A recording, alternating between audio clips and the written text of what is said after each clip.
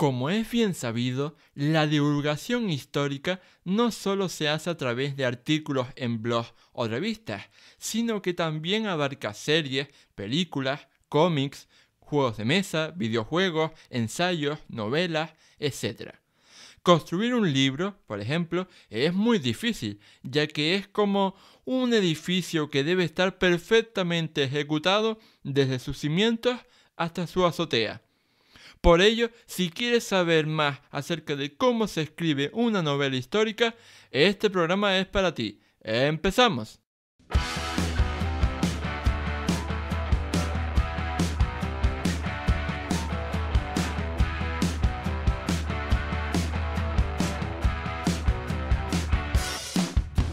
Muy buenas a todos y bienvenidos al episodio 18 del podcast de Historia el programa con el que cualquier persona puede aprender sobre historia independientemente de su formación o nivel de conocimientos previos. Soy Oscar Hernández, historiador y divulgador histórico. Me puedes leer en mi web Historia y puedes seguirme y contactar conmigo en mis perfiles en Facebook, Twitter e Instagram. Los que me conocen personalmente saben que no suelo leer habitualmente novela histórica. A ver, yo leo todos los días, eso sí, pero suelen ser ensayos históricos, que leo por placer o para preparar algunos de los artículos que publico en mi web o en revistas. Tengo que decir que en nuestro país se publican muy buenas novelas históricas, me consta, pero que la gran mayoría de autores no tienen el reconocimiento que se merecen. Por eso hoy quiero aprovechar este humilde espacio para promocionar a unos autores que, al menos desde mi humilde punto de vista, han hecho muy bien su trabajo y han regalado al mundo unas novelas históricas que hay que leer sí o sí. Ellos son José María Espinar, autor de El secreto de Guadiaz, Mireia Gallego Verdejo, autora de Servilia, la mujer que cambió el destino de Roma, y Daniel Pedrino López, autor de Ajax del Grande o La última etiqueta de la cesta. ¿Qué tal están, amigos? Muy bien, muy buenas noches, Oscar, un placer. Buenas noches, muy bien, pues muy contento de estar en este espacio tan especial. Pues por mi parte, encantada de estar con mis compañeros y compartir este espacio contigo también, Oscar. Y yo estoy muy encantado de tenerles a todos ustedes aquí y sobre todo después de la odisea particular que hemos tenido que eh, llevar a cabo para poder reunirnos. si les parece bien, eh, vamos a, a empezar por dar un pequeño espacio de tiempo para que cada uno de ustedes pues presente su obra a la audiencia. En primer lugar, eh, quería ir con, José María, porque él es el autor del Secreto de Guadías, una novela histórica publicada por Alzaria Ediciones y ambientada en el reino nazarí de Granada en 1489, es decir, tres años antes de que finalizara la llamada Reconquista. ¿Qué nos puedes contar sobre su trama sin desvelar spoilers? Porque yo sé que es muy buena y recomendable porque me la he leído, pero quiero que vendas un poco la moto a todos aquellos que todavía no han tenido la suerte de leerla. Bueno, pues el secreto de Guadías mm, es una hemorragia de imaginación que está enmarcada eh, en una época histórica muy concreta, muy determinada. Eh, los mimbres para construir la novela han intentado ser un fiel reflejo de la época y poder, sobre una base eh, tremendamente realista, rigurosamente histórica, eh, poder generar eh, todo un huracán de imaginación. Estamos hablando de una zona muy concreta de Granada en la que en unos momentos de crisis aparece uno, quizá lo han dicho del personaje, uno de los malvados más, más, más grandes ¿no? que, se han, que se han podido ver en la literatura española en los últimos años, que descoloca la estrategia cristiana y, el miedo musulmán. Eh, en definitiva, el secreto de Guadías no es más que un tributo a una época y sobre todo a una zona en la que yo crecí. Pues muy bonito. Y la verdad es que, eh, ah, como tú dices, eh, a mí me encantó eh, leerla porque, pues, desde el capítulo 1, sin hacer spoilers, pues ya podemos ver a este villano de película que, que no tiene nada que envidiar a, a, Geoffrey Lannister o, a cualquier eh, villano de estos de, series a los que odiamos profundamente. Sí, no, el, papel del, malo tenía que, vertebrar toda la novela, porque el viaje eh, de medio recorrido pasa por un comienzo en el que los lectores odian y detestan al villano hasta que al final quedan hipnotizados, sobre todo por su inteligencia y su capacidad de construir estrategias. Pues muy bien. En segundo lugar, eh, hoy tengo el honor de tener en este podcast a Mireia Gallego, autora de Servilia, la mujer que cambió el destino de Roma, publicada por Good Books. Tengo que decir para no engañar a nadie, que todavía no he tenido la suerte de leer su obra, pero que tengo muchas ganas de hacerlo porque me parece, la verdad, súper interesante y original. Al fin y al cabo, la historia de Julio César se ha contado infinidad de veces, pero nunca desde la perspectiva de su amante favorita y la madre del líder de uno de sus asesinos, Marco Junio Bruto. ¿Qué nos vamos a encontrar en Servilia, Mireya? Pues la verdad es que, mm, eh, tal como has explicado tú, se sabe absolutamente todo de, Julio César, ¿no? Sabemos hasta que tenía alopecia. Es decir, que tenemos información incluso de escritos que él mismo había hecho, ¿no? Pero sí que es verdad que hay un gran desconocimiento de todo lo que envolvía a Julio César, sobre todo en la parte femenina, ¿no? En las mujeres que le rodearon, que fueron muchísimas, pero en especial eh, una de ellas que es Servilia, que para mí es fundamental para entender todo lo que era la República romana y sobre todo para entender el contexto en el que se movía Julio César, ¿no? Servilia a mí me parecía apasionante porque a diferencia de las otras mujeres de, César, no solamente fue su amante durante más de dos décadas, sino que precisamente tú lo has dicho, fue madre de, Bruto, ¿no? Y eso la hace como muchísimo más atractiva. Y bueno, la idea surgió porque había hecho un artículo sobre ella para una asociación aquí en Sabadell y me quedó como el sabor de boca de que me faltaba explicar su historia de verdad, ¿no? Que era merecedora de que, de que la gente pudiera entenderla, ¿no?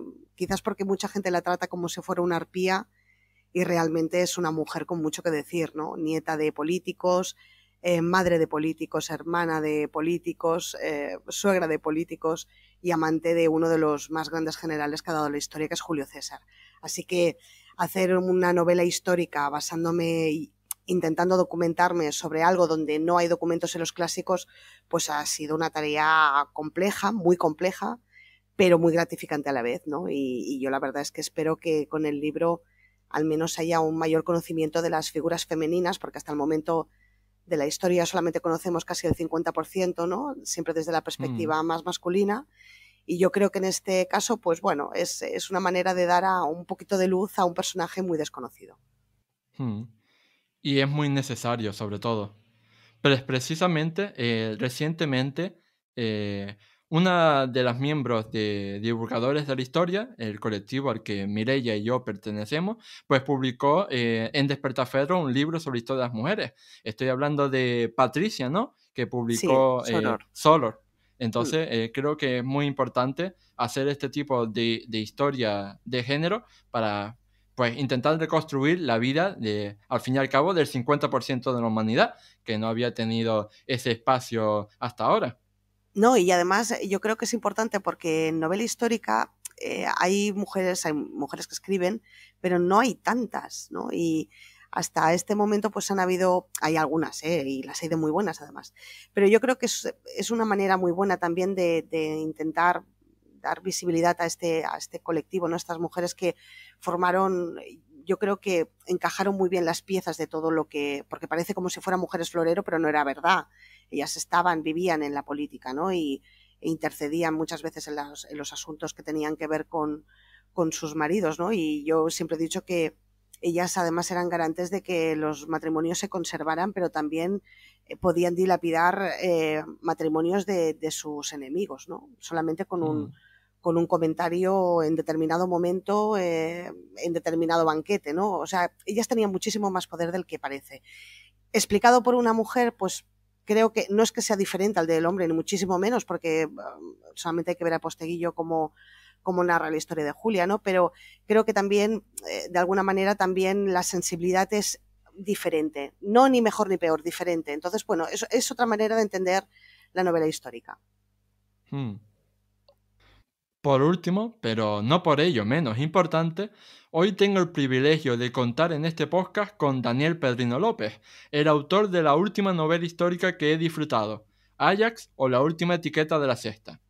A diferencia de las otras, esta novela publicada por Domiduca Libreros se centra en la mitología de la antigua Grecia para presentarnos a Ajax el Grande, primo del famoso héroe Aquiles, que también luchó con él en la guerra de Troya, pero que no es tan conocido por el gran público. Dani, ¿por qué la gente debería leer este libro?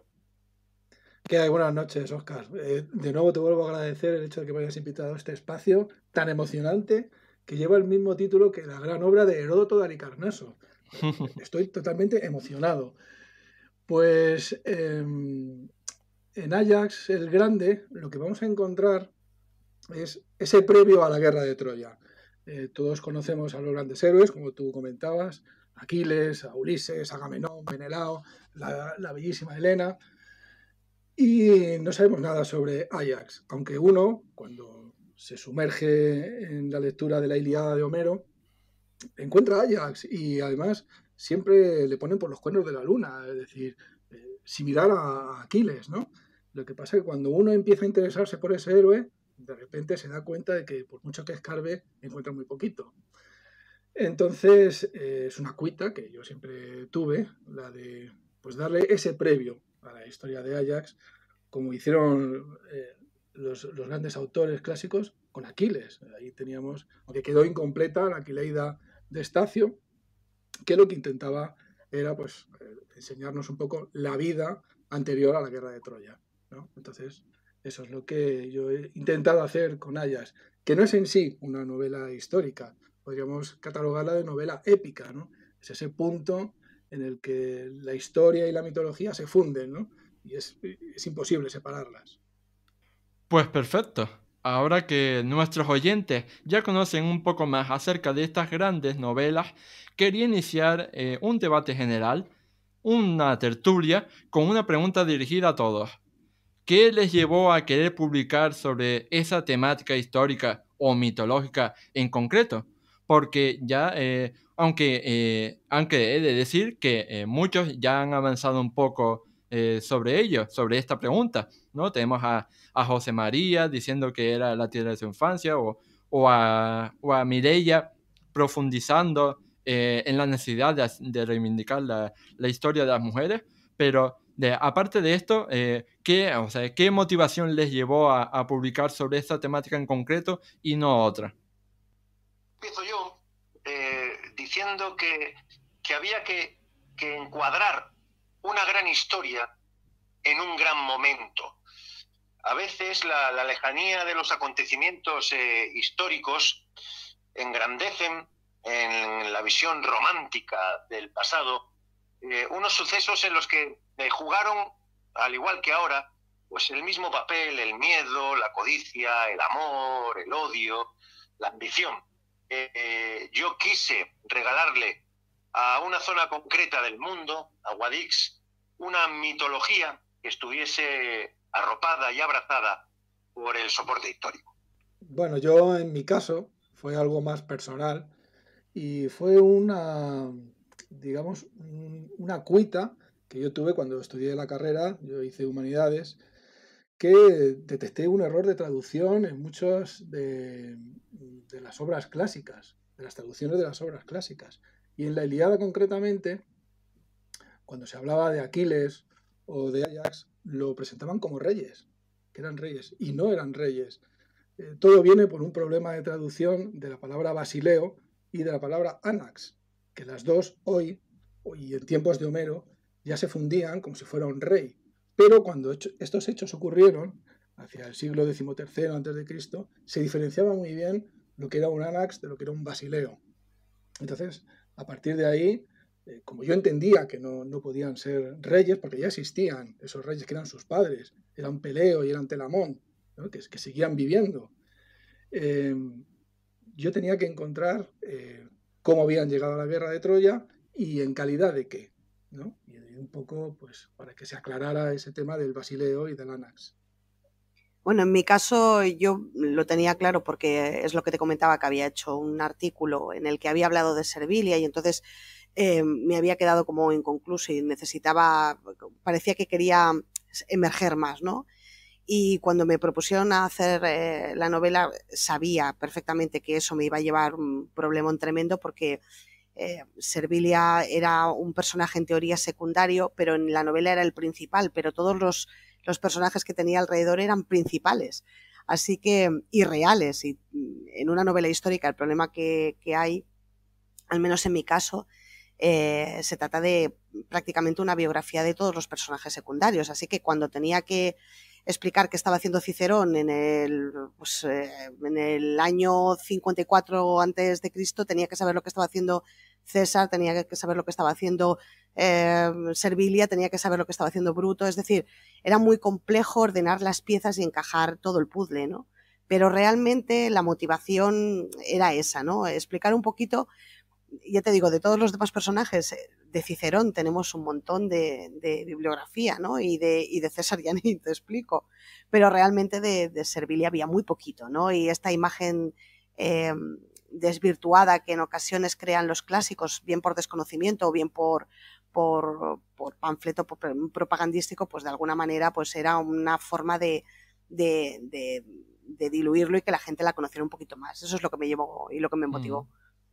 Pues una curiosidad que yo siempre he tenido respecto a los, a los escritores de novela es la trama de, su escrito, la trama de, la novela, la tienen construida enteramente desde el principio, antes de empezar a redactar, o a medida que van escribiendo, decides cómo va a ser el final. Bueno, eh, yo creo que la literatura, como en la vida, eh, lo que verdaderamente queda después de haber hecho planes eh, es lo, único que importa. Quitando la, necesidad gravitacional de, ser fiel al contexto histórico, en mi caso particular, porque es una, visión de, la escritura nada imperialista, puedo tener eh, cuatro o cinco brochazos fundamentales, una rosa de los vientos que me permite comenzar. Pero enseguida la que manda es la novela y los que dan órdenes son los personajes. Yo me limito a obedecer a mi imaginación. eso, mismo, eso mismo iba a decir yo, Oscar. Yo, en mi caso particular, voy a decir que he sido como Hesíodo, que él decía que solo era un vehículo de las musas. Yo no recuerdo haber escrito absolutamente nada, sino que las musas me han utilizado como vehículo.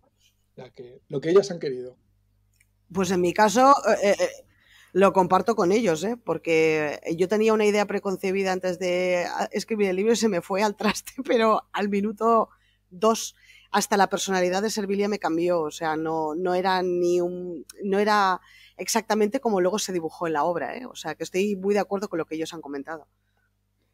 Eso me recuerda un poco a, Miguel Ángel, ¿no? Esculpiendo, que decía que eh, eh, que Miguel Ángel decía cuando esculpía sus famosas obras, que eh, él no las creaba, sino que se dedicaba a sacarlas del bloque de mármol en el que estaban atrapadas. Perfectamente lo has descrito, así es.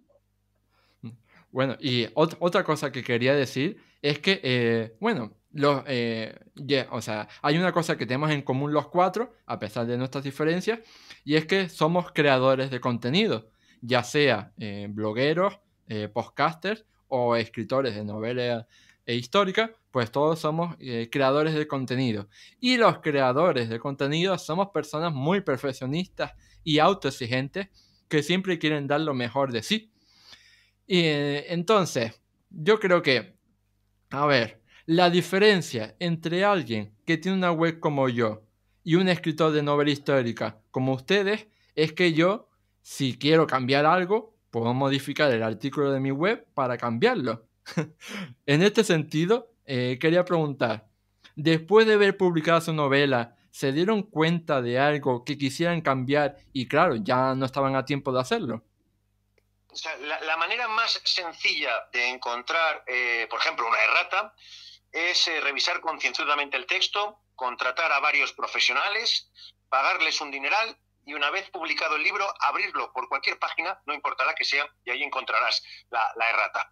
Eh, yo he ido aprendiendo a, lo largo de los años a sentir eh, la literatura como lo hacía Conan Doyle en sus inmensos eh, relatos de Sherlock Holmes. Él aplicaba una lógica que luego no era tan lógica y le escribían indignados los lectores diciéndoles que habían utilizado ese patrón de, pensamiento y que no daba los frutos que, que él aseguraba. A lo cual Conan Doyle contestaba, pero ¿qué más da?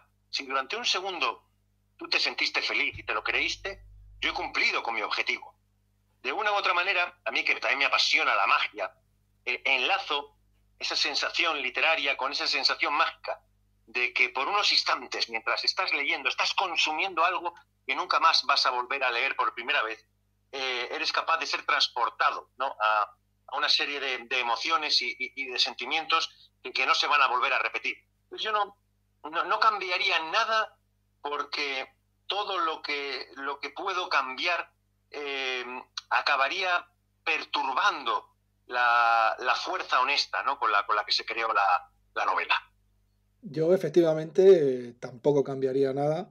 Sí que es verdad que me debato entre el hecho de darle continuidad o no. Pero como dice mi gran amigo José María Espinar, eh, las segundas partes solo se hacen por dinero. Así que tendré que seguir pensándolo. en mi caso yo tampoco cambiaría nada, ¿eh? más que nada porque yo creo que en el momento en que escribí y relaté cada, cada, cada renglón del, del libro, realmente lo sentía, ¿no? Lo sentía como propio. Realmente hay mucho de mí en cada, en cada párrafo. Y, y aunque, a pesar incluso de que pudiera haber errores, ¿eh? yo creo que está hecho con la mejor de las intenciones. En mi caso me pasa como a ti, Oscar, yo también soy divulgadora y llevo veintipico de años divulgando, tengo más años con Bosque. Y, y entonces eh, sí que es muy diferente, pero realmente cambias el chip. No es lo mismo cuando escribes un artículo en un blog que cuando estás escribiendo una novela, ¿no? Y le pones muchísimo más alma, mucho más corazón. Y no, no cambiaría. Creo que no cambiaría, vamos, ni un ápice, ni una coma. Hmm. Está muy bien saberlo. La verdad es que yo pensaba eh, al contrario. pensaba que a lo mejor diría, no, es que esta frase, no, es que esta no sé qué. bueno, de hecho, yo es que ni, me miraba, ¿eh? Yo cuando me llegó el libro publicado, sí que le di una ojeada y lo cerré. Dije, no lo quiero ver. No, no. Ya me lo he leído tantas veces. Además, cuando abres, yo no sé si, seguro que le pasa a mis compañeros también, ¿no? Pero yo al menos cuando abrí el libro pensé, madre mía, pero eso lo he hecho yo, o sea, me, parecía ajeno a mí, era como si tuviera vida propia y ya, y no me correspondiera a mí eh, leerlo, ¿no? Era como si ya no fuera mío. Y de alguna manera yo creo que ya no es mío. Y si lo volviera a leer, no sería con la misma mirada que lo hice. Entonces es muy diferente, al menos en mi caso. ¿eh? Hmm. Y eh, vinculado a esto, yo quería pues que entráramos un poco en el salseo, en el cotilleo, Porque iba a decir, eh, pues, eh, como decía en la presentación, pues eh, vivimos en un mundo y en un país muy injusto en el que a los escritores no se les da el reconocimiento que merecen, porque al fin y al cabo a las editoriales lo único, lo único que les importa no es la calidad del escrito, sino la capacidad que tenga de vender ejemplares. Entonces quería comentar, eh, a ver, con ustedes, si podían contarme algún cotilleo de, algún problema que hayan tenido, pues, con, la editorial en la que han publicado o con otras editoriales a las que le hayan propuesto hacer la publicación del libro, pero que eh, les rechazaran. Entonces, eh, aquí cuenten trapos sucios. Vale, bueno, como decía el padre Pilariño en su manual del buen cristiano, que antes eh, de hablar mal de una persona lo mejor es callarse. Así que, con tu pregunta, yo voy a responder con un silencio ensordecedor. Yo, por ejemplo, en mi caso, eh, mm, a ver, yo creo que lo que echábamos, o al menos en mi caso, eh, cuando echas, lo que echas más en falta es que las editoriales pequeñas no tienen la distribución y la publicidad que puede tener una grande ni el aparato propagandístico que puede tener las grandes editoriales. Entonces no pueden difundir o a lo mejor tampoco saben difundir la novela o, sus libros como, como lo haría una persona que tiene un departamento para ello. ¿no? Bueno, eh, yo creo que es, yo creo que una de las cosas que más eh, echarían falta eh, sería eso, ¿no? Que realmente tienes que abrirte camino a codazos, ¿no? Y, tienes que invertir mucho tiempo no solamente en hacer la novela, que eso ya es un trabajón espectacular, sino en promocionar la novela. Y en, parece como si siempre estuvieras eh, suplicando, ¿no? De, eh, que la gente la lea, ¿no? Y, piensas, no es justo porque es verdad que hay muchas veces que lees novela que dices esto no vale nada, pero tiene todo un aparato propagandístico detrás. Eh, pero bueno, eh, tú tienes que venderlo y tienes que venderlo lo mejor que puedes. Y para eso, pues bueno, hay compañeros como, como tú, ¿no? Y otros que, que a mí personalmente me han ayudado muchísimo a promocionar la novela. Ese es mi pero, ¿no? Dani, eh, confío en ti para que nos cuentes algo más sórdido. Mm, la verdad es que yo no tengo así mucho que contar. La verdad, cuando escribí, terminé de escribir la novela, eh, sabía un poco a lo que me enfrentaba. Ya había hablado con José María y él ya me había explicado cómo iba todo. Entonces, a mí no me sorprendió ni siquiera que te lo rechazan, es decir, no te responden ni te dan un acuse de recibo, ¿no? Es un poco como, mira, no me molestes. Pero bueno, yo sabía lo que, a lo que me enfrentaba y bueno, uno pues lo, admite, ¿no? Sí que es verdad que solemos ser bastante arrogantes y pensar que lo que hemos escrito nosotros pues es lo mejor o, mucho mejor que lo que hacen los demás, ¿no? Y a lo mejor no es así, Pero bueno, sí que es verdad que, es, una empresa difícil la de publicar un libro. De todas formas, diré eh, que, eh, por ejemplo, uno de los libros más vendidos de la historia, yo creo, que es la saga de Harry Potter, pues eh, por lo que tengo entendido, eh, numerosas editoriales rechazaron a J.K. Rowling el manuscrito de Harry Potter y la piedra filosofal porque no les gustaba y porque pensaban que el género fantástico, mágico, juvenil, pues estaba agotadísimo y que no iba a tener éxito. Y precisamente, pues, eh, pues se convirtió pues, en la saga que todos conocemos, que es de los libros más vendidos de la historia. Entonces, pues yo quería decir eso, que que muchas veces las editoriales no tienen ni idea de lo que se están perdiendo. Y me imagino, me imagino la cara que se les habrá quedado a todas esas editoriales que rechazaron a J.K. Rowling al ver el fenómeno en el que se convirtió. Sí, vivimos un momento muy complejo porque no es lo mismo ser escritor, ser escritora, que, escribir un, libro. Entonces hay mucha contaminación lumínica que impide ver las estrellas que van conformando constelaciones eh, literarias. Tal como está estructurada mercantilmente ¿no? en nuestra sociedad y, de un modo particular eh, el mundo editorial, lo que ocurre es que ellos eh, están desbordados, son absolutamente fagocitados por una catarata de, manuscritos, entonces no, no pueden no tienen la capacidad material, es decir, no, no cuentan con los medios reales, con las herramientas para ir eh, diferenciando, ¿no? para, para separar eh, eh, el, trigo de la, cáscara.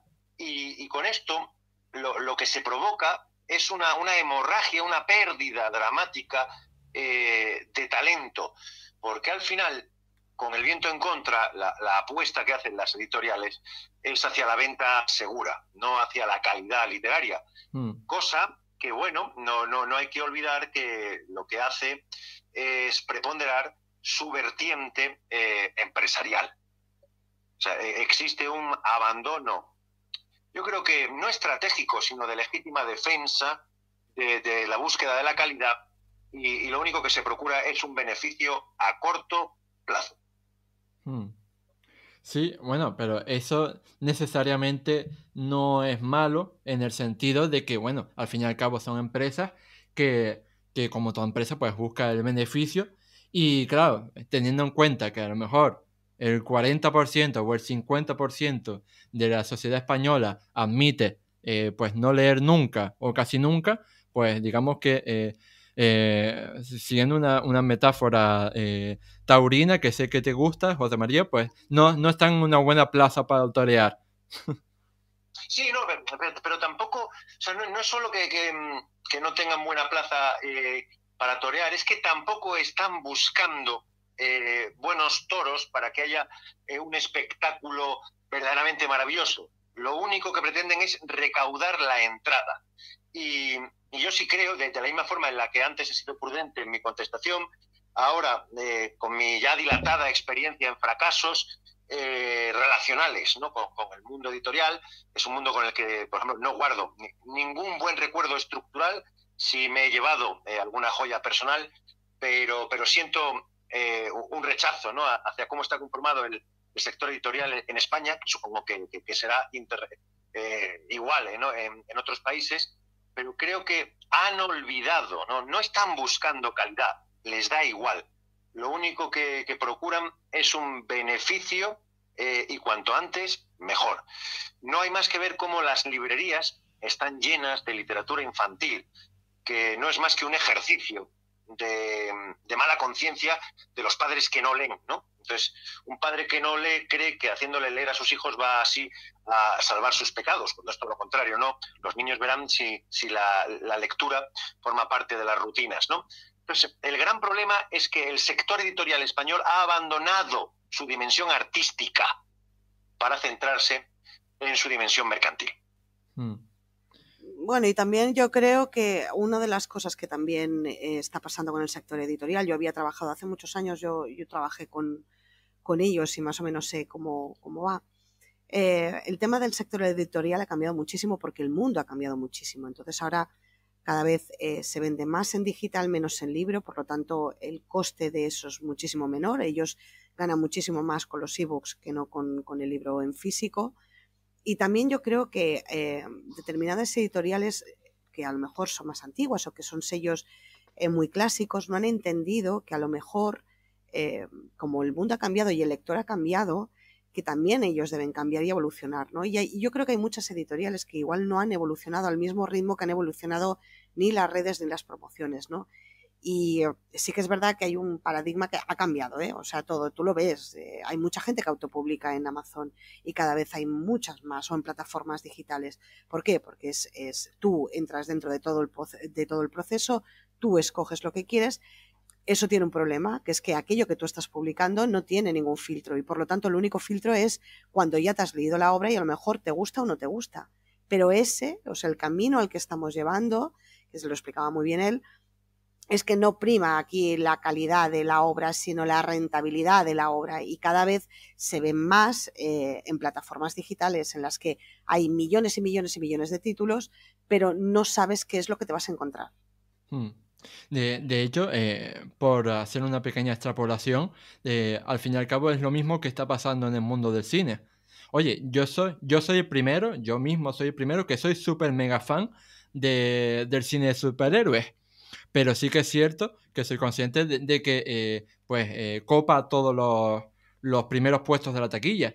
Y entonces, pues, eso hace que muchas productoras, pues, no, o sea, no, no quieran aventurarse hacer eh, cine que no sea, eh, pues eso, de superhéroes o, así friki juvenil, porque eh, piensan que, no van a tener el éxito que, esas superproducciones pues van a tener. Y de hecho, pues suele pasar mucho, ¿no? Que yo que sé, uno se pone a mirar las películas, ¿no? estas de cine europeo o, de estas que pasan por los festivales, ¿no? El Festival de Cannes o todas estas clases festivales, que después miran eh, la recaudación y es ínfima en comparación con todos los premios que han ganado.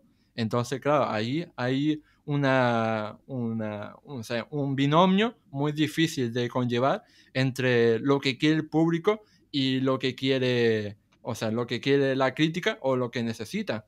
Porque, claro, o sea, eh, a lo mejor el público, como ya dije antes, si tenemos al 50% de la gente de España que no lee nunca o casi nunca, pues a lo mejor lo único que quiere es el nuevo libro de la cobradora de Telecinco o quiere el último libro de, de, recetas de Belén Esteban o, o, el nuevo libro de, de, tal youtuber o de tal influencer. Entonces, eh, como siempre digo, el tema es empezar desde joven, desde la educación. O sea, si no implantamos esos hábitos eh, lectores desde la juventud, desde la niñez, pues está claro que de adultos pues eh, es mucho más difícil empezar. Sí, sí, totalmente. Sí, es, es, básico y muy importante fomentar la lectura desde bien pequeño, ¿no? Cuando creas el hábito, al final ellos acostumbran y echan de menos aquellos espacios de, de, bueno, de, poder leer y poder imaginar, ¿no? Al fin y al cabo, ahora los jóvenes lo tienen todo tan mascado y lo tienen todo tan gráfico y, y tan, tan de repente, tan rápido todo, que, que, el poder imaginar, yo creo que suma, ¿no? Yo creo que les va francamente bien. ¿Tú qué opinas, Dani? Pues mira, yo tuve la suerte, junto a José María, de trabajar en un cine. Y yo me acuerdo, hace muchísimos años, cuando yo era joven, decían que cuando llegaba el vídeo, que ya se iba a acabar el cine, que el cine pues, eh, se iba a acabar ya para siempre. Y sin embargo, allí no dejaba de, llegar gente, bueno, ya se le tenía que decir, por favor, que, que, que se dieran la vuelta y que no vinieran, ¿no? Con lo cual yo creo que todos esos mitos de que se va a acabar el cine, se van a acabar los libros en papel y tal, pues creo que no va a ser así. Vamos, tengo esa esperanza. Bueno, por lo que tengo entendido, eh, el otro día leí una noticia de que en 2021 había crecido la venta de libros no sé cuántos por ciento, supongo que también por efectos de la pandemia, ¿no? Sí, pero los libros crecen porque son, son un regalo que formalmente acompaña o viene acompañado de cierta eh, elegancia. No, no, no hay que confundir la venta de libros, el consumo económico de libros, como un aumento real del hábito lector. Hmm, claro, eso es verdad. Y más si, si, eh, bueno, si te lo regalan, pero nunca lo lees. Porque de, yo creo que en este país también nos gusta mucho el postureo cultural. Yo creo que eh, eh, en todos los países, ¿no? El, el hecho de, de, intentar vender que tienes esa pátina ¿no? de, cultura, pues te, te, abre unas puertas eh, que tú quieres penetrar sin hacer el esfuerzo real, ¿no? Porque la, la, cultura es lo que, lo que se consigue pues después de muchas horas trabajando, algunas de ellas disfrutando, ¿no? Pero la lectura, que no siempre ha de ser gozosa, eh, lo que hace es que nos, nos eleva como, como, como, seres, eh, como seres humanos y hay algunos pues quieren elevarse haciendo trampas y yo lo entiendo.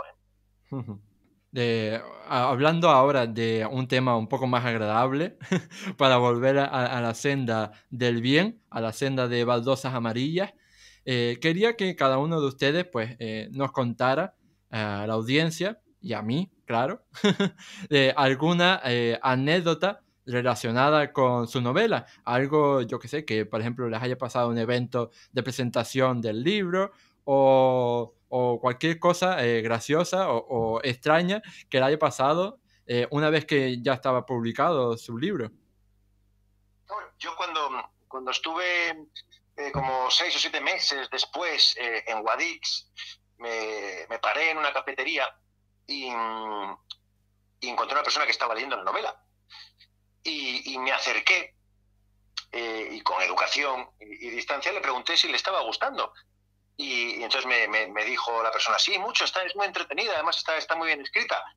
Y, entonces me, tomé la, libertad de decirle, pues yo soy el, eh, autor, vamos a, darle un autógrafo y le invito también a desayunar. Entonces fue un encuentro eh, que, el, que, el, destino, o el azar, ¿no? El azar es el destino sin ropa, pues me regaló y fue muy bonito. Bueno, pues en mi caso no he tenido mucho tiempo de tener anécdotas con la novela, puesto que lleva poquito tiempo publicada. Sí que es verdad que yo pensaba que pues eh, iba a ser una lectura para familiares y amigos, ¿no? Y sí que me ha llevado la sorpresa de que ha habido gente que no tiene nada que ver conmigo, que se ha interesado por la novela, la ha leído y, le ha gustado. O sea que yo en principio me quedo con eso. Hmm. Sí, sí, en mi caso es lo mismo que, el de Daniel. Eh, lleva un poquito, la novela lleva escasos meses y todavía no ha tenido tiempo. Ya tendrá tiempo de, alguna anécdota y entonces te la explicaré. De, hecho, eh, esa es la última pregunta que quería hacer en este podcast. Eh, es precisamente sobre las reacciones de los lectores. Bueno, partamos de la base de que no todos somos unos acosadores como José María, que van a acosar a gente desconocida que está tranquilamente leyendo en una terraza. Eh, yo quería pues eh, que nos contaran pues un poco de eh, las reacciones que han tenido respecto a esos primeros lectores que han tenido ustedes, Mireya y Daniel. ¿Cómo, ¿Cómo, se han tomado los lectores su novela? ¿Qué les han contado? Bueno, pues yo en mi caso he tenido bastante suerte porque hasta ahora todas las críticas que he tenido son bastante buenas. Incluso me encontré a una persona hace poco que la había leído y decía que se estaba haciendo un esquema ¿no? de todos los personajes que, que aparecían ¿no? y, que, que aprendían mucho. Entonces, sí que es verdad que yo lo que más temía pues era ese tipo de comentario de eh, esto no hay quien se lo lea, ¿no? Y de momento no me ha pasado, con lo cual estoy bastante contento.